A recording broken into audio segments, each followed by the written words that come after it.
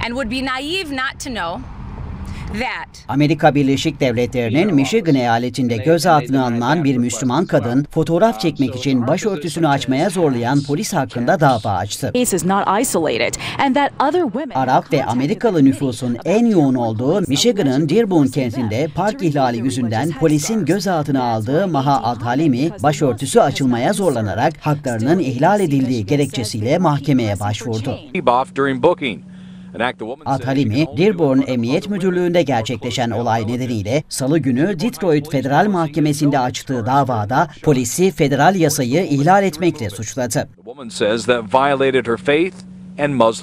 Yerel medyaya açıklamada bulunan Adhalimi, erkek polislerin önünde başını açamayacağını bildirmesine rağmen polisin ya kendisinin isteyerek başını açacağını ya da başörtüsünü çıkarmak için güç kullanacağını söylemesi üzerine başörtüsünü ağlayarak açtığını anlattı.